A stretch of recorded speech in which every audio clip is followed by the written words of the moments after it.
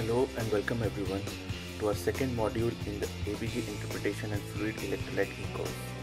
It is 7 steps in ABG interpretation and it is being presented by Dr. Abhilash Das who is an assistant professor in Department of Critical Care Medicine, IMS and SUM hospital.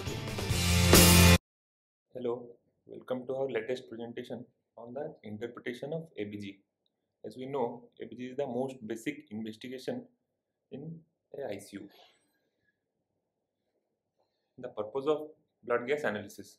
From this, we can know the oxygenation status, the ventilation status, and the acid base status of the patient. It will help in management plan and also will know the derangements and the efficacy of treatment, mainly ventilatory treatment.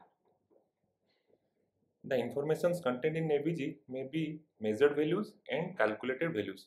pH, PO2 and PaCO2 are measured and bicarb, saturation of oxygen, base excess, these are calculated values. There are some conditions that may modify the ABG results and it may result to invalidating the results. Delayed analysis. If we draw the blood and uh, we wait for some time, then we do the ABG, there may be consumption of oxygen so that the PO2 level will be low and PCO2 level will also be high. So it is better to um, store in a uh, in ice the sample and uh, it can be stored for 1 to 2 hours. Then we can do the ABG. If the patient is having very high grade fever or hypothermia, there will be fallacious results of pH, PCO2 and PO2. Excessive heparin also affects the pH.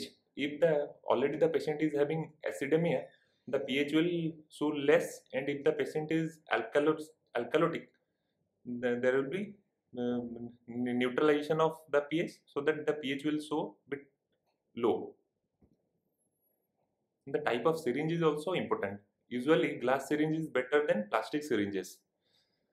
Glass syringe is less pervious to oxygen, so the uh, PO2, what we will see in ABG, if drawn in glass syringes, will correlate better.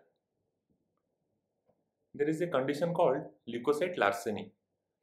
There is leukocytosis and thrombocytosis, as in some blood cancers, there will be increased consumption of oxygen, so that the ABG will show low PO2.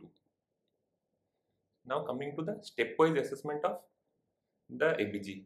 First step is the assessment of validity of the result.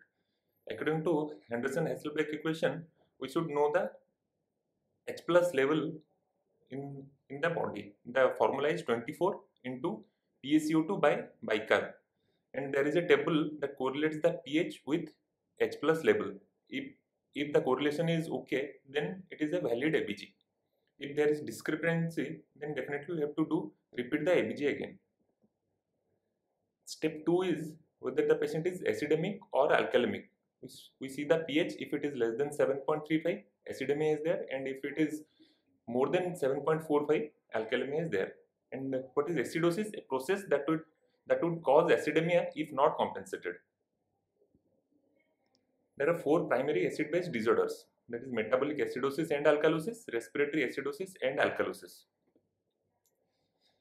now, the next step is we should know which is the primary disorder. We have to see the change in PCO2, pH and bicarb. If the PCO2 is deranged in the same direction of pH, then the primary acid disorder is acidemia, respiratory acidosis. If the PCO2 is deranged in the opposite direction of pH, then the primary disorder is respiratory. In this example, we can see the pH is 7.3, 7.25 and PO2 is 60 and bicarb is 26. Definitely it is respiratory acidosis. Here we can see if there is uh, pH is 7. Point, less than 7.4 it is acidosis and if PO2 is more than 40 it is acidosis and bicarb is less than 24 it is acidosis. In the step 4 it is the compensation. For a respiratory disorder is renal compensation okay. For respiratory acidosis there is one acute compensation and one chronic compensation. Acute is within 24 hours and chronic is more than 24 hours. For acute compensation, there is a formula. We have to memorize the formula. It is change in bicarbonate is equal to 1 by 10 change in PCO2. For chronic compensation, it is change in bicarbonate is equal to 4 times the change in bicarbonate, the change in PCO2 by 10. For respiratory alkalosis, in for acute compensation, the factor is 2 and for chronic compensation, the factor is 5. Step 5 is if the disturbance is metabolic, is, is the respiratory compensation appropriate? There is one equation called Winters equation. The expected PCO2 is 1.5 times the bicarbonate plus 8 plus minus 2. And for metabolic alkalosis, expected PCO2 is 0.7 into bicarbonate plus 21 plus minus 1.5. If there is no compensation, the actual PCO2, if it is more than expected, then definitely there is hidden respiratory acidosis. And the actual PCO2, if it is less than expected, then there is hidden respiratory alkalosis. If the patient is having metabolic acidosis, is there an anion gap? It is the step 6. We have to look for any hidden ions. The formula is sodium minus chloride plus bicarb. It is the anion gap which is usually less than 12. If it is more than 12, it is high anion gap metabolic acidosis. And we know the uh, MUDPILES. It is methanol, uremia, diabetic ketoacidosis, paraldehyde, infections, salicylates. It's variable anion gap. Uh, in, uh, in our blood, there is albumin, phosphorus and unmeasured anions they lead to variable anion gap. So there is a correction um, if the albumin is less in chronic ill patients. The formula is anion gap corrected is normal anion gap plus 4 minus albumin into 2.5. The step 7 is delta ratio. Delta ratio is increase in anion gap by decrease in uh, bicarbonate. To see whether the increase in anion gap is uh, compensated by the decrease in bicarbonate. If the value is less than 0.4, there is normal anion gap acidosis. If the value is 0.4 to 1, there is combination of high anion gap and normal anion gap acidosis.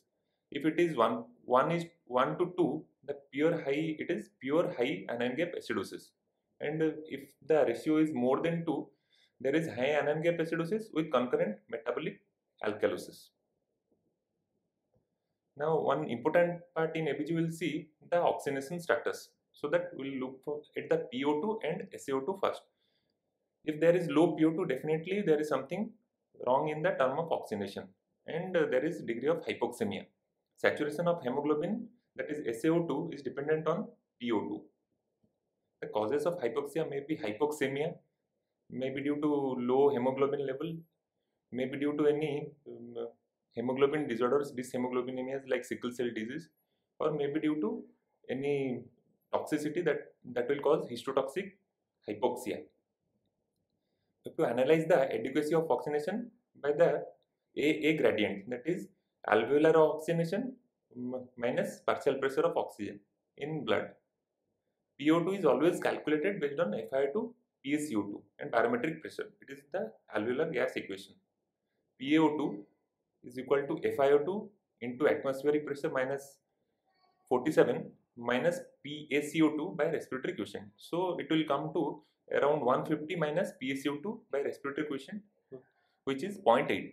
The normal A gradient increases with age. The normal A gradient has a formula age by 4 plus 4. If the in a hypoxic patient the A gradient is more, then definitely there is a shunt or VQ mismatch or there is impaired diffusion. And if the A gradient is normal, there is definitely hypoventilation or the inspired PO2, FiO2 is low. Now, next thing is PF ratio. It measures the severity of hypoxemia in ARDS. That is mild is around 200 to 300, moderate is 100 to 200, severe is less than 100. Another thing we'll see in ABG is the saturation gap SpO2 minus SaO2 more than 5% is significant it, it occurs in methemoglobinemia and carboxyhemoglobinemia so to summarize the presentation step 1 is assess the validity of the ABG results step 2 is find out whether there is acidemia or alkalemia step 3 is try to find the primary disorder, whether it is metabolic or respiratory. If it is a respiratory disorder, then find the renal compensation. If it is a metabolic disorder, find the respiratory compensation and it is appropriate or not. If it is a metabolic acidosis, then calculate the anion gap.